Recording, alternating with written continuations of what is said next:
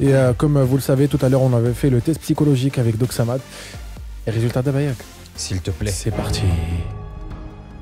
Mehdi, وي شوف فيك تطول العمر الله يحفظك وين بارك الله فيك دريس قطع التليفون العمر عيط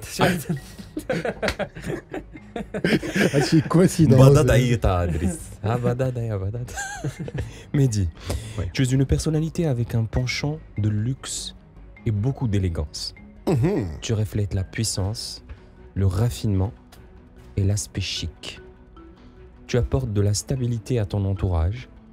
tu absorbes beaucoup d'énergie d'une manière très importante, mais tu es rapidement influençable. Tu as un penchant mélancolique, c'est-à-dire triste d'une manière profonde, qui est quand même important malgré ta joie externe et ta joie de vie. D'accord. Est-ce que j'ai pu cerner un peu Ouais. certaines facettes de ta personnalité? Non, vraiment Un ça. peu? Ouais, un peu. Ok. Driss, tu es une personnalité sensible, généreuse, avec beaucoup de gaieté et de joie interne, ainsi que de pardon qui réside en toi.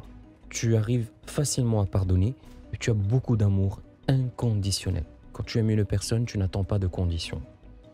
Tu apportes beaucoup de confort à ton entourage, de paix et surtout d'assurance.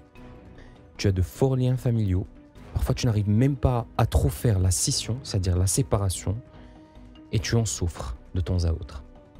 Tu es très fidèle en amour, ça date les radis briques. Et je pense que tu vas être... Même moi.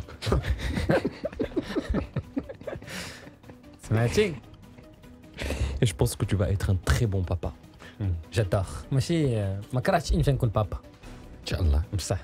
Encore une fois, semaille, semaille. Semaille. Tu as donné un bruit de tonton.